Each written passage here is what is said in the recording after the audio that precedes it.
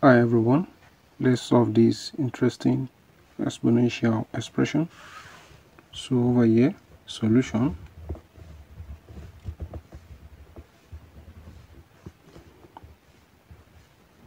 We have our question to be 100 over x squared equal to x squared over 100. From here, we multiply both sides by 100 x squared.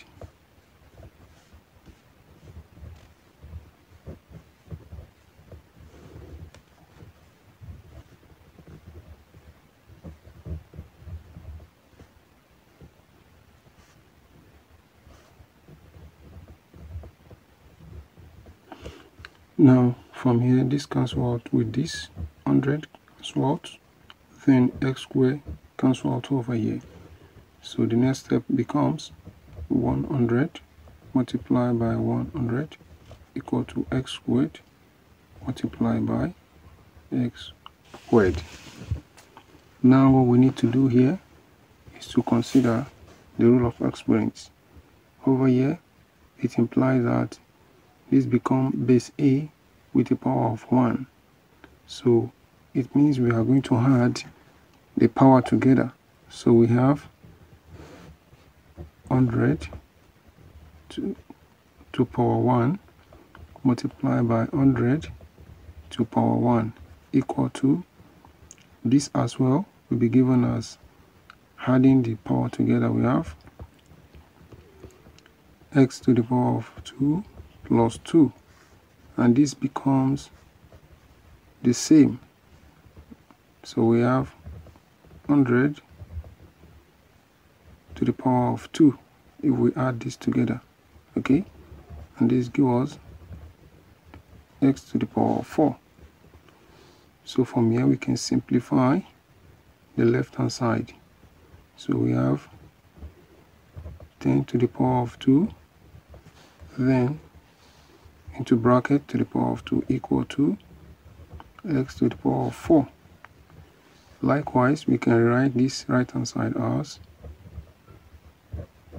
10 to the power of 2 into brackets to the power of 2 equal to x to the power of 2 multiplied by 2. And this can be written as 10 to the power of 2 into brackets to the power of 2 equal to x to the power of 2 into brackets to the power of 2. Then we can move all the expression to the left hand side and that gives us x to the power of 2 into brackets to the power of 2 then minus 10 to the power of 2 into bracket to the power of 2 and that will be equal to 0. So from the rule or from the identity of difference of 2 square we have a squared minus b squared to be expanded as a plus b into brackets a minus b. So over here this becomes our a. X squared become our a. Y 10 to the power of 2 becomes our b. So we can now put it in this form. And that becomes x squared plus 10 squared into bracket then open under bracket x squared minus 10 squared and that will be equal to 0 so let's solve these two cases of x. So considering this we have x to the power of 2 plus 10 to the power of 2 equal to 0. Here we can move this 10 to the power of 2 to the right hand side. So if we bring this 10 to the right hand side, it becomes minus 10 squared. So we have, take the square root of both sides. We have square root of x squared equal to square root of minus 10 squared. So this gives us square root of x squared then plus or minus plus or minus square root of minus 10 squared. So now this cancel out with this we are left with x will now be equal to plus or minus square root of 10 squared then minus 1 squared. So we can factor out minus 1 from minus 10 squared so we now have x to be equal to plus or minus square root of 10 squared multiplied by square root of minus 1. This gives us equal to plus or minus 10 plus or minus 10 if this cancel out with this. So y square root of minus 1 will be given as i. So it implies that our x is now equal to x1 to be equal to x1 becomes 10 high y x2 equal to minus 10 high this is for the case 1 okay then let's solve for the case where we have x squared minus 10 squared equal to 0. So over here, this expression is also in the form of difference of 2 square. So this implies that we are going to expand this in, in the form of difference of 2 square, which implies if we have a squared minus b squared we can express it as a plus b into bracket a minus b into bracket so putting this in this form we have we have x plus 10 into brackets multiply by x minus 10 into brackets equal to 0. So solving for x in this expression, it implies that x will be equal to x will be plus 10 equal to 0 or x minus 10 equal to 0. So it implies that it implies that x will be equal to minus 10 or x will be equal to 10 we can call this x3 and this to be x4 so having gotten our x1 to be equal to 10i x2 equal to minus 10i. Then we also have x3 to be equal to minus 10, x4 equal to 10. So we can as well check for this value in our question which implies 100 over x squared equal to x squared over 100 if the left hand side complies with the right hand side that is if they were if they are equal.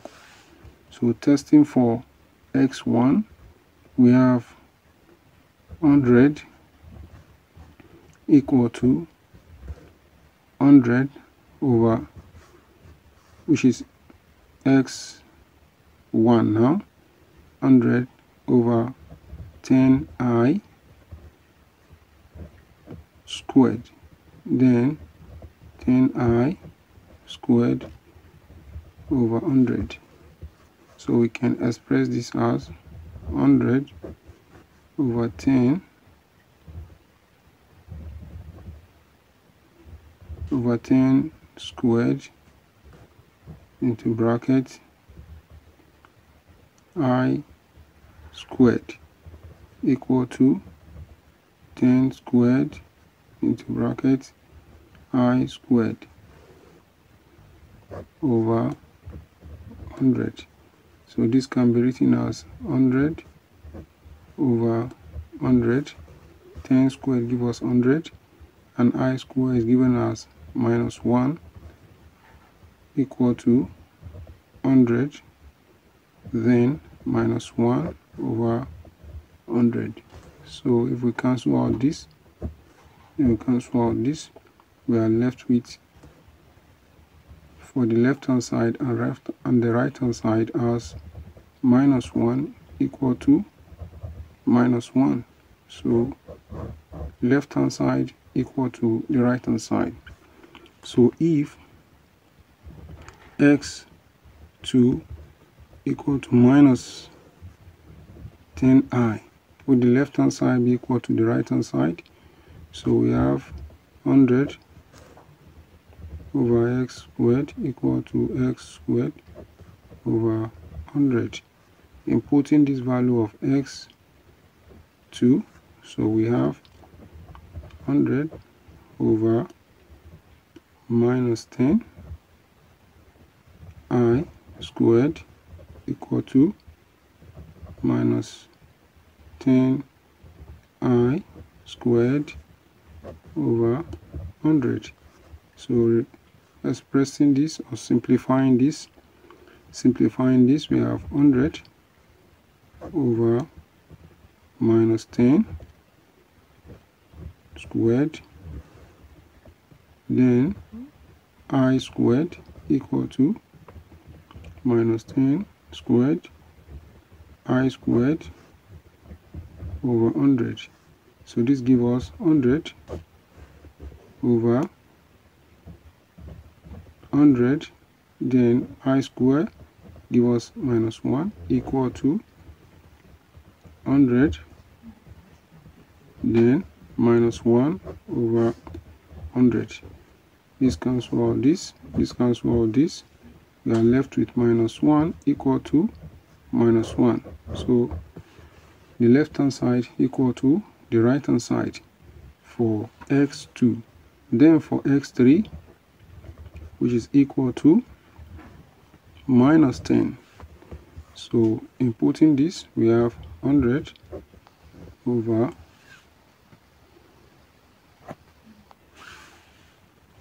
we have 100 over minus 10 squared then minus 10 squared over 100 so this gives us 100 over 100 then 100 over 100 so this cancel out this this cancel out this. We have 1 equal to 1 LHS equal to RHS so for x4 equal to 10 so we have we have 100 over 10 squared equal to 10 squared over 100 then we have 100 over 100 this give us 100 then 100 this also give us 100 10 square equal to 100 over 100 so this cancel all this? This cancel all this? So we have 1 equal to 1 it implies that LHS equal to RHS so for the value of x1 x2 x3 and x4 satisfy our earlier expression which proves that all value of x are correct. See you in the next one